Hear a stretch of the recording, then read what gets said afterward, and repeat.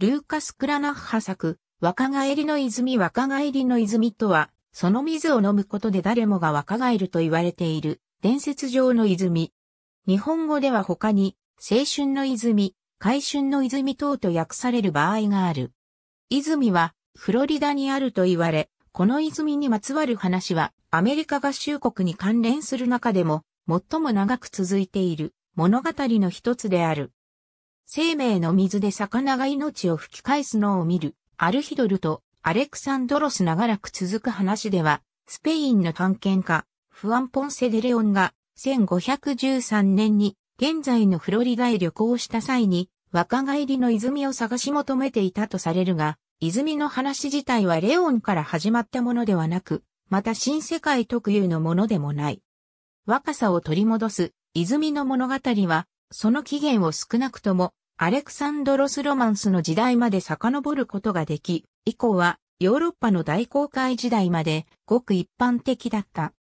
その後の伝説は、アレクサンドロス大王と彼の僕が若さを取り戻させる泉を探すために暗黒の土地に渡ったとするアレクサンドロス・ロマンス東洋版に登場した命の泉の話から由来したものである。その話に登場する王の僕は、高乱中にも登場する賢人、アルヒドルの中東における伝説が起源である。アルハミアー文学及びアラビア語版のアレクサンドロス・ロマンスは、ムーア人の統治期間中、そして帰還後のスペインにおいても国民によく知られており、アメリカ大陸に赴いた探検家たちも知っていたものと思われる。泉の物語に関しては、出所が明確でないものが数えきれないほど存在する。数ある伝説の中でも、不死を求める話はたびたび取り上げられるものであり、また人類に不老不死を与えると解釈される賢者の石や、無限に寿命を伸ばすとされる話や、エリクサー等のような話は、ユーラシア大陸をはじめ、あらゆる場所でよく聞かれる物語であった。他に、転居の一つとして、ヨハネによる福音書に登場するベテスダの池がある。これはエルサレムにあり、イエス・キリストが病に苦しんでいた男性を癒したと言われている池である。ネイティブアメリカンによる癒しの泉の物語は、伝説の土地、米名ネー、またはビミニに関連している。北方のどこかにあると言われた。この地は富と繁栄の地で、現在のバハマの位置にあったと考えられている。伝承によれば、当時周囲一帯を実質支配していたスペイン人たちは、このビミニの話をイスパニオラ島、キューバ、プエルトリコにいたアラワク族から聞いたとされる。話では、その昔キューバのアラワク族の中に、セケネという名の族長がおり、ビミニやその若さを回復させる力がある泉の魅力にいても立ってもいられなかったという。族長は北方へ向かうために探検団を編成して、ビミニに到着し、若返りの泉周辺に住み着いた後、キューバに帰ることはなかった。話は、楽観的なセケネの部族民たちにも広がり、彼らも、また族長らと同じく、ビミニで豪勢に過ごしたそうである。ビミニと、その回復の水の噂は、西インド諸島で広まった。イタリア出身の歴史研究家、ピエトロ・マルティーレ・ダンギエラは、1513年にローマ教皇に宛てた手紙の中で、この泉の話に言及している。しかし、他の人々と同じく、彼は、こうした物語を信じていなかった。物語は、ポンセ・デ・レオンがプエルトリコを征服した際、現地の人々から泉の話を聞いたことへと続く。増えゆく物質的な裕福さに満足できず、レオンはその泉の場所を突き止めるべく探検隊を結成し、探検の過程でフロリダを発見した。彼はアメリカの土地を踏んだ初期のヨーロッパ人のうちの一人ではあったが、結局若返りの泉を見つけることはなかった。しかし、この話は不確かな点もある。ポンセデレオンは泉の話を聞いておりその存在を信じていただろうとされる一方で、彼が死去するまで諸作品における伝説と彼の名は結びつけられていない。レオンと伝説を結びつけたのは、ゴンサロ・フェルナンデス・デオビエドの1535年の作品、イストリア・ゼネラル、ワイナチュラル・デラス・インディアスである。オビエドはその著書の中で、ポンセデレオンは自身の勢力減退を治癒するためにビミニの泉を探したのだと書いた。同様の記述がフランシスコ・ロペスでゴマラチョによる1551年版のインディアス全史にも書かれている。また、エルナンドでエスカランテ・フォンタネダは1575年の作品メモアールの中で泉がフロリダにあるとし、そこでレオンがその水を探したと書いた。この記述は後にスペインの歴史家アントニオ・デレライ・トルデシージャスが記した新世界におけるスペインの歴史にも影響を与える。フォンタネダは少年の頃に乗っていた船が座礁し、フロリダでインディアンの捕虜として17年間過ごした経験を持つ。彼の回想録では、彼が呼ぶところの失われた川、ヨルダンを流れる若返りの水について触れ、レオンはこの水を探していたと言及した。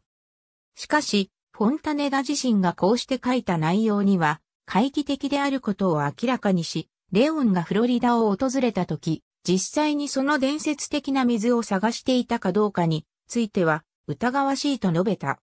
歴史家エレラは作品、 Historia general de los hechos de los castellanos en las islas y tierra firme del Mar Océano を含む、フォンタネダの話をもとにして描いた作品で、フロリダの話について触れている。エレラは、 cacique と呼ばれる地元の長が頻繁に泉を訪れていたと述べた。とある貧弱な老人の男性は、泉に入って完全な若さを取り戻し、ありとあらゆることをまたできるようになった新しい妻をめとり、より多くの子供を授かることもできたという。エレラはまた、スペイン人は伝説の泉を探すために、フロリダ沿岸に沿って、すべての川、小川、片や池を探したが、ついに泉を発見できなかったと加えている。セケネの話も、同様に歪曲されたフォンタネダの話に基づいたものだったとされる。上記の通り、当時のヨーロッパ人にとって若返りの泉の概念は、西インド諸島に住む人々から話を聞いた当時、すでに馴染みのあるものだった。若返りの泉、または井戸の話は、アレクサンドロス・ロマンスをはじめ、ジョン・マンデビル教の旅行や、旧世界が古きものとされるさらに以前のプレスター・ジョンに関連する手記にも登場している。プレスター・ジョンの手紙には、山裾には泉が湧き上がる。この泉を口にした者は、皆その命が続く限り30歳のままでいられるのだ。とある。当時の探検家たちには新しく発見した場所を、それまで読んだことのある空想の旅を扱った本に基づいて考える習慣があった。これは、アマゾニアのネーミングやエチオピアの王はプレスタージョンであったという主張、またエデンの園がアジアやアメリカで見つかるといった空想に現れている。スペイン人がネイティブアメリカンたちから豊かな土地にある若返りの泉の話を聞いたとき、彼らはネイティブたちがついに若返りの泉を発見したのだと信じざるを得なかった。なお、ネイティブアメリカンによる初期の泉の伝説は、スペインの一部の年代記編者以外には知られていない。フロリダ州セントオーガスティンにはファウンテン・オブ・ユース・ナショナル・アーキアロジェクル・パークがある。この公園は伝統的にフアン・ポンセ・デ・レオンが上陸したと言われている地点に町の著名な歴史への賛辞として作られた。ここにある泉は伝説の若返りの泉ではないが、泉の水を飲む観光客は後を絶たない。またネイティブアメリカンや植民地の工芸品も展示され、セントオーガスティンが受け継いだティムクアやスペインの伝統を商用している。ウィアード US シリーズの書籍、ウィアードフロリダでは、著者のチャーリー・カールソンがセントオーガスティンを拠点とする秘密結社の一員と接触したと述べている。その団体は若返りの泉の守護者と主張しており、水のおかげで皆並外れた長寿であるという。また前述したエレライ・トルデシージャスの作品に登場する主人公、ジョン・ゴメスも彼らの一員だと主張した。2006年8月、著名な手品師であるデビッド・カッパーフィールドは、彼がおよそ5000万ドルで購入したばかりのバハマのエクスマ諸島にある4つの小さな島で若返りの泉を発見したと主張した。